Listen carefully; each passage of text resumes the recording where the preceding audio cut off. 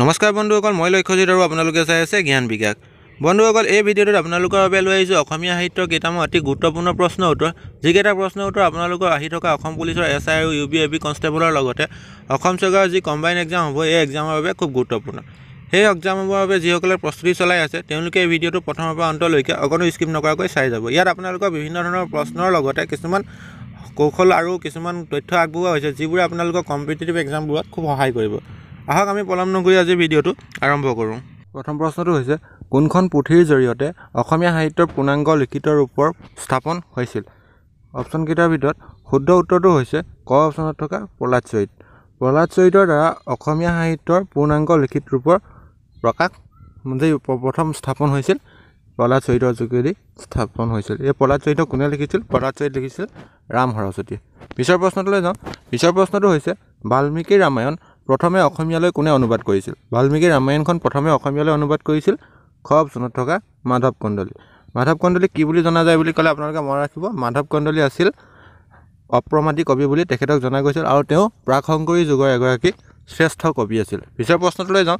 পিছৰ প্ৰশ্নটো হৈছে অৰুণোদয় কোন চনত প্ৰকাশ পাইছিল? অৰুণোদয় কোন চনত প্ৰকাশ পাইছিল? অৰুণোদয় যি বাৰ্তালোচনীখন আছিল সেইখন প্ৰকাশ পাইছিল ওঠৰশ ছয়চল্লিছ চনত। পিছৰ প্ৰশ্নটোলৈ আগবাঢ়ক। পিছৰ প্ৰশ্নটো হৈছে কোন চনত আত্মাৰাম শৰ্মাই বাইবেল অসমীয়ালৈ অনুবাদ কৰিছিল? বাইবেলখন অসমীয়ালৈ অনুবাদ কৰিছিল আত্মাৰাম শৰ্মাই কোন চনত কৰিছিল? তেওঁ কৰিছিল ওঠৰশ তেৰ চনত। ওঠৰশ তেৰ চনত বাইবেলক অসমীয়ালৈ অনুবাদ কৰা হৈছিল। কি নামেৰে অনুবাদ কৰিছিল? সেইখন আছিল ধৰ্ম পুস্তক ধৰ্ম পুস্তক নামেৰে অসমীয়ালৈ বাইবেলক অনুবাদ কৰা হৈছিল আৰু এই ধৰ্ম পুস্তকখন কি আছিল প্ৰথমখন অসমীয়া ছপা পুথি পিছৰ প্ৰশ্নলৈ যাওঁ। পিছৰ প্ৰশ্নটো হৈছে অসম সাহিত্য সভাৰ প্ৰথম দাতা কোন আছিল? অসম সাহিত্য সভাৰ প্ৰথম দাতাজন কোন আছিল? প্ৰথম দাতা মানে যিজনে দান কৰিছিল তেওঁ আছিল হৰে কৃষ্ণ ডেকা। অসম সাহিত্য সভাৰ বাবে তেওঁ দান কৰিছিল আৰু সেই দান কৰা তেওঁ প্ৰথম আছিল। তেওঁ কিমান টকা দান কৰিছিল বুলি আপোনালোকে মনত ৰাখিব? তেওঁ মুঠ দহ টকা দান কৰিছিল। দহ টকীয়া এখন নোট দান কৰিছিল সেই সময়ত। পিছৰ প্ৰশ্নটো হৈছে অসম সাহিত্য সভাৰ দ্বিতীয় সভাপতিজন কোন আছিল? অসম সাহিত্য সভাৰ দ্বিতীয়জন সভাপতি কোন আছিল? দ্বিতীয়জন আছিল চন্দ্ৰধৰ বৰুৱা। প্ৰথমজন কোন আছিল? প্ৰথমজন আছিল পদ্মনাথ গোহাঁই বৰুৱা। তৃতীয়জন আছিল কালিৰাম মেধি। চতুৰ্থজন আছিল হেমচন্দ্ৰ গোস্বামী। আৰু প্ৰথম সভাপতিজন আছিল হেম পদ্মনাথ গোহাঁই বৰুৱা। প্ৰথম অধিৱেশন ক'ত বহিছিল? প্ৰথম অধিৱেশন বহিছিল শিৱসাগৰ জিলাত। কোন চনত? ঊনৈছশ সোতৰ চনত। আৰু দ্বিতীয় প্ৰশ্ন আৰু এটা প্ৰশ্ন হ'ব পাৰে। দ্বিতীয় সভাপতিজন আছিল চন্দ্ৰধৰ বৰুৱা। দ্বিতীয় অধিৱেশন ক'ত বহিছিল? দ্বিতীয় অধিৱেশন বহিছিল গোৱালপাৰাত। পিছৰ প্ৰশ্নলৈ যাওঁ। পিছৰ প্ৰশ্নটো হৈছে ধন্য নৰতনু ভাল। কাৰ ৰচনা? এইখন কাৰ ৰচনা আছিল? ধন্য তৰ নৰতনু ভাল নামৰ এই গ্ৰন্থখন ৰচনা কৰিছিল ছৈয়দ আব্দুল মালিকে। কাৰ জীৱনৰ আধাৰত ৰচনা কৰা হৈছিল? এইখন শ্ৰীমন্ত শংকৰদেৱৰ জীৱনৰ আধাৰত ৰচনা কৰা হৈছিল ছৈয়দ আব্দুল মালিকৰ দ্বাৰা। ধন্য নৰতনু ভাল। পিছৰ প্ৰশ্নলৈ যাওঁ। পিছৰ প্ৰশ্নটো হৈছে মৃত্যুঞ্জয় কাৰ ৰচনা? মৃত্যুঞ্জয়খন কোনে ৰচনা কৰিছিল? মৃত্যুঞ্জয় ৰচনা কৰিছিল ঘ অপশ্যনত থকা হেম বৰুৱা। পিছৰ প্ৰশ্নলৈ যাওঁ। পিছৰ প্ৰশ্নটো হৈছে বেদনাৰ উল্কা কাৰ ৰচনা? বেদনাৰ উল্কা নামৰ গ্ৰন্থখন কাৰ ৰচনা?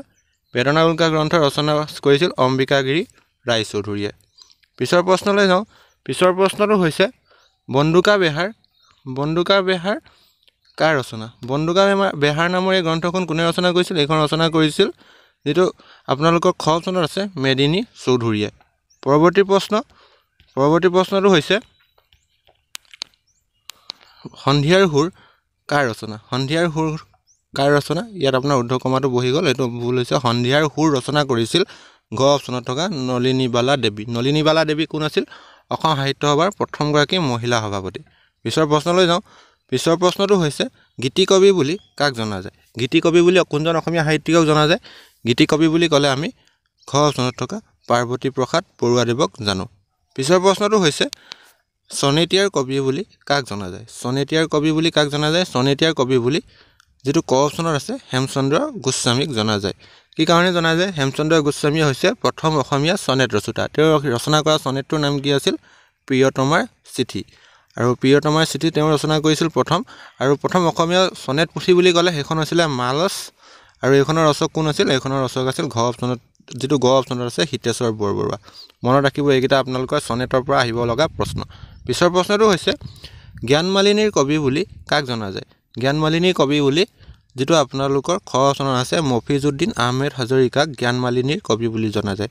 তেওঁ লিখা কবিতা পুথিখন আছিল জ্ঞানমালিনীৰ সেইকাৰণে তেওঁ কবি জ্ঞানমালিনীৰ কবি বুলি জনা যায়। আৰু তেওঁ জ্ঞানমালিনীৰ কবি যি কবিতা পুথিখন আছিল সেইখন তেওঁ মৰণোত্তৰভাৱে প্ৰকাশ পাইছিল। পিছৰ প্ৰশ্নটো হৈছে পাপৰিৰ কবি বুলি কাক জনা যায়? পাপৰিৰ কবি বুলি কোনজনক জনা যায়? পাপৰিৰ কবি বুলি ক'লে আমি জানো গণেশ গগৈক।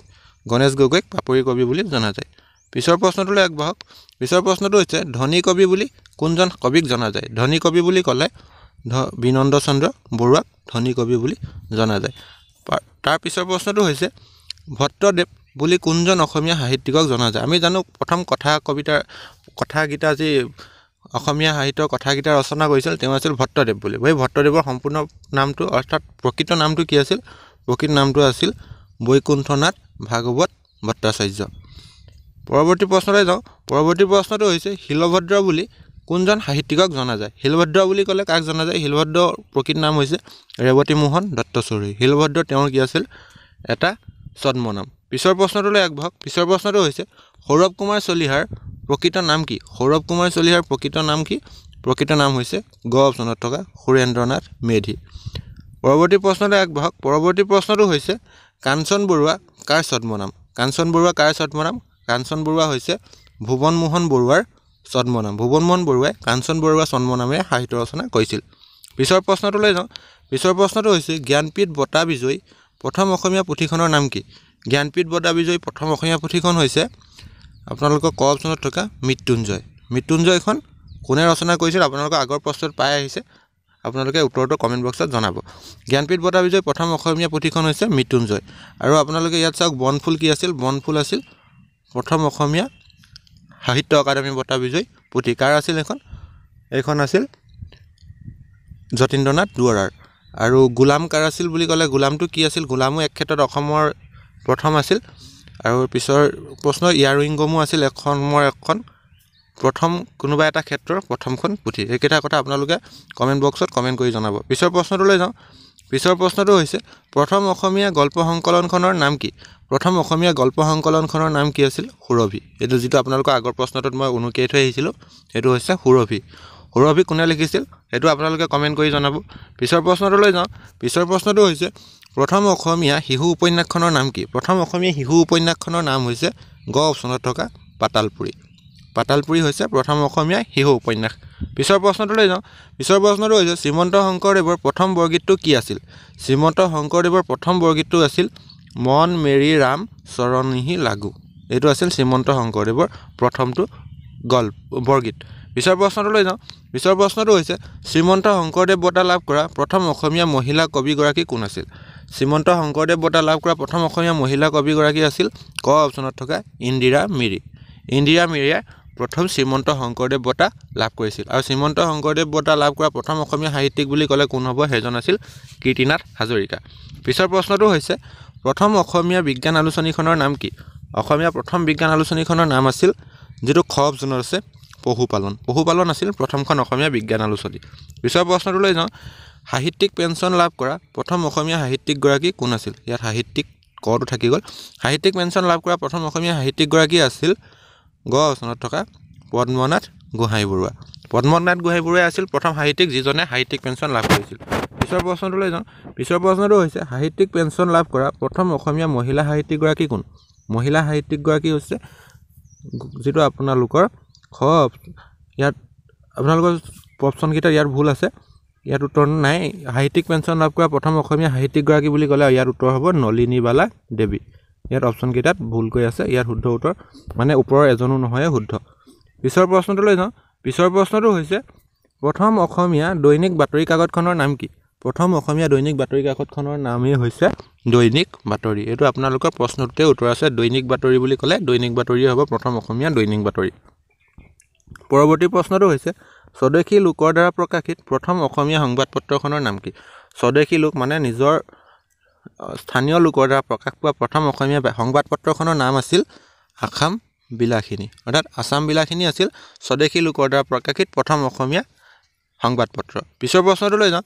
পিছৰ প্ৰশ্নটো হৈছে লক্ষ্মীনাথ বৰাই লক্ষ্মীনন্দন বৰাই কোনখন গ্ৰন্থৰ বাবে সাহিত্য অকাডেমী বঁটা লাভ কৰিছিল? লক্ষ্মীনন্দন বৰাই কোনখন গ্ৰন্থৰ বাবে সাহিত্য অকাডেমী বঁটা লাভ কৰিছিল? তেওঁ লাভ কৰিছিল পাতাল ভৈৰৱী নামৰ গ্ৰন্থখনৰ বাবে। পিছৰ প্ৰশ্নটোলৈ যাওঁ। পিছৰ প্ৰশ্নটো হৈছে মেদিনী চৌধুৰীয়ে কোনখন গ্ৰন্থৰ বাবে সাহিত্য অকাডেমী বঁটা লাভ কৰিছিল? মেদিনী চৌধুৰীয়ে কোনখন গ্ৰন্থৰ বাবে পাইছিল? তেওঁ ঘ অপশ্যনত থকা বিপন্ন সময় নামৰ গ্ৰন্থখনৰ বাবেই সাহিত্য অকাডেমী বঁটা লাভ কৰিছিল। পৰৱৰ্তী প্ৰশ্নটো হৈছে কোনখন গ্ৰন্থৰ বাবে মামণি ৰয়চম গোস্বামীয়ে সাহিত্য অকাডেমী বঁটা লাভ কৰিছিল? মামণি ৰয়চম গোস্বামীয়ে ক অপশ্যনত থকা মামৰে ধৰা তৰোৱালখনৰ বাবেই সাহিত্য অকাডেমী বঁটা লাভ কৰিছিল। পৰৱৰ্তী প্ৰশ্নলৈ যাওঁ। পৰৱৰ্তী প্ৰশ্নটো হৈছে য়েছে দৰ্জে থংচীয়ে কোনখন গ্ৰন্থৰ বাবে সাহিত্য অকাডেমী বঁটা লাভ কৰিছিল? য়েছে দৰ্জে থংচীয়ে কোনখন গ্ৰন্থৰ বাবে? মৌনৌধ মুখৰ হৃদয় এইখন গ্ৰন্থৰ বাবে তেওঁ সাহিত্য অকাডেমী বঁটা লাভ কৰিছিল। পৰৱৰ্তী প্ৰশ্নটো হৈছে কংগ্ৰেছৰ কাচিয়লি ৰ'দত গ্ৰন্থৰ বাবে কোনে সাহিত্য অকাডেমী বঁটা লাভ কৰিছিল? কংগ্ৰেছৰ কাচিয়লি ৰ'দত গ্ৰন্থৰ বাবে যিটো আপোনালোকৰ গ অপশ্যনত আছে বেণুধৰ শৰ্মা। বেণুধৰ শৰ্মাই সাহিত্য অকাডেমী বঁটা লাভ কৰিছিল কিয়ৰ বাবে? কংগ্ৰেছৰ কাচিয়লি ৰ'দত নামৰ গ্ৰন্থখনৰ বাবে। পৰৱৰ্তী প্ৰশ্নলৈ যাওঁ। পৰৱৰ্তী প্ৰশ্নটো হৈছে অসমীয়া সাহিত্যত অৰুণোদয় যুগ বুলি কোনখিনি সময়ক জনা যায়? অৰুণোদয় যুগ বুলি অসমীয়া সাহিত্যত কোনখিনি সময়ক জনা যায়? অৰুণোদয় যেতিয়া প্ৰকাশ পাইছিল সেই প্ৰকাশ পোৱা চনৰ পৰা যেতিয়া চন্দ্ৰকুমাৰ আগৰৱালাৰ দ্বাৰা প্ৰকাশ সম্পাদিত জোনাকী প্ৰকাশ পাইছিল সেই তাৰ মাজৰ সময়খিনিকে অৰুণোদয় যুগ বুলি কোৱা হয়। অৰুণোদয় যুগ অৰুণোদয় কেতিয়া প্ৰকাশ পাইছিল? ওঠৰশ ছয়চল্লিছ চনত। আৰু আপোনালোকৰ অন্য এটা মই কৈছিলোঁ জোনাকী কেতিয়া প্ৰকাশ পাইছিল? জোনাকী প্ৰকাশ পাইছিল ওঠৰশ ঊনানব্বৈ চনত। অৰ্থাৎ এই মাজৰ সময়খিনিকে কি কয়? অৰুণোদয় যুগ বুলি কয়। এতিয়া ইয়াত উত্তৰটো কোনটো হ'ব? যিটো ঘ অপশ্যনত আছে ওঠৰশ ছয়চল্লিছ চনৰ পৰা ওঠৰশ ঊনানব্বৈ চনৰ সময়খিনিক অৰুণোদয় যুগ বুলি কোৱা হয়। পিছৰ প্ৰশ্নটো লৈ যাওঁ। পিছৰ প্ৰশ্নটো হৈছে অসমীয়া সাহিত্যত ৰোমান্টিক যুগ বুলি কোনখিনি সময়ক কোৱা হয়? অসমীয়া সাহিত্যত ৰোমান্টিক যুগ বুলি কোৱা হয়? জোনাকী প্ৰকাশ পোৱাৰ পৰা ঊনৈছশ চল্লিছ চনৰ সময়লৈকে অসমীয়া সাহিত্যত ৰোমান্টিক যুগ বুলি কোৱা হয়। অৰ্থাৎ ওঠৰশ ঊনানব্বৈ চনৰ পৰা ঊনৈছশ চল্লিছ চনৰ সময়ছোৱাক অসমীয়া সাহিত্যৰ জোনাকী যুগ বুলি কোৱা হয়। পিছৰ প্ৰশ্নটো হৈছে জোনাকী যুগ বা ৰোমান্টিক যুগ বুলি কোৱা হয়। পিছৰ প্ৰশ্নটো হৈছে প্ৰথম অসমীয়া ৰোমান্টিক কবিতাটো কি আছিল? প্ৰথম অসমীয়া ৰোমান্টিক কবিতাটো কি আছিল? প্ৰথম অসমীয়া ৰোমান্টিক কবিতাটো আছিল যিটো খ অপশ্যনত আছে বন কুঁৱৰী বন কুঁৱৰী আছিল প্ৰথম অসমীয়া ৰোমান্টিক কবিতা। আৰু প্ৰথম অসমীয়া চনেটটো কি আছিল বুলি ক'লে এইটো আছিলে প্ৰিয়তমাৰ চিঠি। পিছৰ প্ৰশ্নলৈ যাওঁ। পিছৰ প্ৰশ্নটো হৈছে প্ৰথম অসমীয়া ব্যাকৰণ কোনে লিখিছিল? প্ৰথম অসমীয়া ব্যাকৰণখন কোনে লিখিছিল? সেইখন লিখিছিল যিটো আপোনালোকৰ গ অপশ্যনত আছে উইলিয়াম ৰবিনছন। উইলিয়াম ৰবিনছনে প্ৰথম অসমীয়া ব্যাকৰণখন লিখি উলিয়াইছিল। পিছৰ প্ৰশ্নটোলৈ যাওঁ। প্ৰথম অসমীয়া পিছৰ প্ৰশ্নটো হৈছে কোন চনত অৰুণোদয় নামকৰণ কৰা অৰুণোদয় কৰা হৈছিল? ইয়াত হস্ৰইটো সলনি অন্তস্থ য় আহিছিল কোন চনত আহিছিল? সেইটো আহিছিল ওঠৰশ এষষ্ঠি চনত। মনত ৰাখিব এইটো এটা গুৰুত্বপূৰ্ণ প্ৰশ্ন। অৰুণোদয় হস্ৰই সলনি অন্তস্থ য় কেতিয়া পৰিৱৰ্তন কৰা হৈছিল সেইটো কৰা হৈছিল ওঠৰশ এষষ্ঠি চনত। পৰৱৰ্তী প্ৰশ্নটো হৈছে উষা আলোচনীৰ প্ৰথম সম্পাদক কোন আছিল? উষা যি আলোচনীখন এই আলোচনীখনৰ প্ৰথম প্ৰথমগৰাকী সম্পাদক কোন আছিল? সেই সম্পাদকজন আছিল সাহিত্য সভাৰ প্ৰথম সভাপতি পদ্মনাথ গোহাঁই বৰুৱা। পৰৱৰ্তী প্ৰশ্নলৈ যাওঁ। পৰৱৰ্তী প্ৰশ্নটো হৈছে প্ৰথম অসমীয়া মহিলা আলোচনীখনৰ নাম কি? প্ৰথম অসমীয়া মহিলা আলোচনীখনৰ নাম হৈছে খ অপশ্যনত থকা ঘৰ জেউতী ঘৰ জেউতী আছিল প্ৰথমখন অসমীয়া মহিলা আলোচনী। পিছৰ প্ৰশ্নটো হৈছে কবি নীলমণি ফুকনক বাগ্মী বৰ উপাধি কোনে প্ৰদান কৰিছিল? নীলমণি ফুকনক বাগ্মী বৰ বুলি কোনে কৈছিল? প্ৰথম তেওঁ আছিল আনন্দ চন্দ্ৰ বৰুৱা গ অপশ্যনত থকা আনন্দ চন্দ্ৰ বৰুৱা। আৰু আনন্দ চন্দ্ৰ বৰুৱাই ডক্টৰ ভূপেন হাজৰিকাক সুধাকণ্ঠ উপাধিও প্ৰদান কৰিছিল। পিছৰ প্ৰশ্নটো হৈছে প্ৰতিমাখন সৰু কিন্তু নিভা সোণৰ এই বুলি কোনে কৈছিল? কোনে কৈছিল? এইটো কৈছিল ঘ অপশ্যনত থকা লক্ষ্মীনাথ বেজবৰুৱাই। লক্ষ্মীনাথ বেজবৰুৱাই তেওঁৰ সহযোগী চন্দ্ৰকুমাৰ আগৰৱালাৰ দ্বাৰা ৰচিত যি প্ৰতিমা নামৰ পুথিখন আছিল সেই পুথিখনৰ সন্দৰ্ভত মন্তব্য দিছিল যে প্ৰতিমাখন সৰু কিন্তু নিভাজ সোণৰ। পিছৰ প্ৰশ্নটোলৈ যাওঁ। পিছৰ প্ৰশ্নটো হৈছে হেমচন্দ্ৰ বৰুৱাৰ হেমকোষ কোন চনত প্ৰকাশ পাইছিল? হেমচন্দ্ৰ বৰুৱাৰ দ্বাৰা ৰচিত হেমকোষ প্ৰকাশ পাইছিল ক চনত থকা ঊনৈছশ চনত। পিছৰ প্ৰশ্নটোলৈ যাওঁ। পিছৰ প্ৰশ্নটো হৈছে প্ৰথম অসমীয়া কথা কবিতাৰ ৰচক কোন? প্ৰথম অসমীয়া কথা কবিতাৰ ৰচক আছিল খ অপশ্যনত থকা যতীন্দ্ৰনাথ দুৱৰা। পিছৰ প্ৰশ্নটো হৈছে মহাপুৰুষ মাধৱদেৱৰ কোন চনত জন্ম হৈছিল? মহাপুৰুষ মাধৱদেৱৰ জন্ম কেতিয়া হৈছিল? মহাপুৰুষ মাধৱদেৱৰ জন্ম হৈছিল চৈধ্যশ ঊনানব্বৈ চনত। আৰু তেখেতৰ মৃত্যু কেতিয়া হৈছিল? তেখেতৰ মৃত্যু হৈছিল পোন্ধৰশ ছয়ান্নব্বৈ চনত। আৰু শ্ৰীমন্ত শংকৰদেৱৰ জন্ম হৈছিল চৈধ্যশ ঊনপঞ্চাছ চনত আৰু শ্ৰীমন্ত শংকৰদেৱৰ মৃত্যু হৈছিল পোন্ধৰশ আঠষষ্ঠি চনত। এইকেইটা কথা আপোনালোকে মনত ৰাখি থ'ব এই চনকেইটা এটা এটা গুৰুত্বপূৰ্ণ চন। অসমীয়া সাহিত্যৰ ক্ষেত্ৰত বৰ মন দিবলগীয়া কথা। পিছৰ প্ৰশ্নটো হৈছে শ্ৰীমন্ত শংকৰদেৱৰ প্ৰথম কাব্যগ্ৰন্থখনৰ নাম কি? শ্ৰীমন্ত শংকৰদেৱৰ প্ৰথম কাব্যগ্ৰন্থখনৰ নাম আছিল হৰিচন্দ্ৰ উপাখ্যান। শ্ৰীমন্ত শংকৰদেৱে বহুতো ৰচনা কৰিছিল তাৰ ভিতৰত সকলোকে বেলেগ বেলেগ ধৰণে ভাগ কৰা হৈছে। কাব্যগ্ৰন্থসমূহৰ ভিতৰত প্ৰথম কাব্যগ্ৰন্থখন আছিল হৰিচন্দ্ৰ উপাখ্যান। পিছৰ প্ৰশ্নটোলৈ যাওঁ। পিছৰ প্ৰশ্নটো হৈছে তলৰ কোনখন গ্ৰন্থক হাজাৰী ঘোষা বুলি কোৱা হয়? হাজাৰী ঘোষা বুলি কোনখন গ্ৰন্থক কোৱা হয়? সকলোৱে জানে এইটো নামঘোষাক কোৱা হয়। নামঘোষাক হাজাৰী ঘোষা বুলি কোৱা হয়। কি কাৰণে কোৱা হয়? সেই নামঘোষাখনত মুঠ এহেজাৰটা ঘোষা বা শ্লোক আছিল বাবে তাক হাজাৰী ঘোষা বুলি কোৱা হয়। পিছৰ প্ৰশ্নটো হৈছে হস্তি বিদ্যানমৰ লেখক কোন আছিল? হস্তি বিদ্যানম কোনে লিখিছিল? হস্তি বিদ্যানম লিখিছিল সুকুমাৰ বৰকাইত। সুকুমাৰ বৰকাইতে ৰচনা কৰিছিল।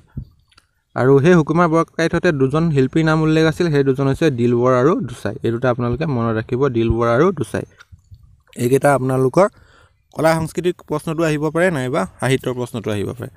বন্ধুসকল আজি ভিডিঅ'টো ইমানতে অন্ত পৰিল। ভিডিঅ'টো প্ৰথমৰ পৰা অন্তলৈকে চাই যোৱাৰ বাবে সকলোকে ধন্যবাদ জনালোঁ। যদি ভিডিঅ'টো ভাল লাগিল সকলোৱে লাইক কৰিব আৰু কমেণ্ট বাকচত কমেণ্ট কৰি জনাব।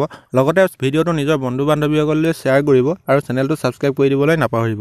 চেনেলটো ছাবস্ক্ৰাইব কৰি দি কাষতে থকা নটিফিকেশ্যন বেলটো বজাই থ'ব যাতে আপোনালোকৰ বাবে অনা এনেধৰণৰ সকলো ভিডিঅ' আপোনালোকে সময়মতে পাবলৈ সক্ষম হয়। সকলোৰে দিনটো শুভ হওক। ধন্যবাদ।